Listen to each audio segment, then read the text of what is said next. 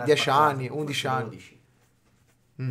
Secondo me qualcosina meno. Comunque facciamo 12. Facciamo 12. A un certo punto, vabbè, si va. Noi praticamente andavamo sempre il primo maggio a questo boschetto del mio zio. Si va in questo boschetto. A un certo punto io c'avevo un rappo con cui spaccavo le Il fronde. rappo è toscano puro. Cos'è? Eh, se- un nemmeno un, le-. È un un ramo, legno. è un È ramo. un ramo, sì. Ho un Anzi, è legno. pisano il rappo. un legno lungo, insomma, lo tenevo così, così. E lo portavo a giro per spaccare le frasche, no? Liberare il intero, cercavo di fare l'esploratore. E c'era Dario dietro che cercava pruni o comunque qualcosa del genere. Nel ruscello. Ne, le sì, more, eh, le more. pruni. A un certo punto gli faccio, Dario, ma secondo te no? Mi giro, ma tipo di scatto per vedere dov'era. C'è il, il rappo in legno che gli arriva di oh madonna nerdente e glielo spacca. La cosa che io ero talmente, eh, come si può dire, spaventato e anche...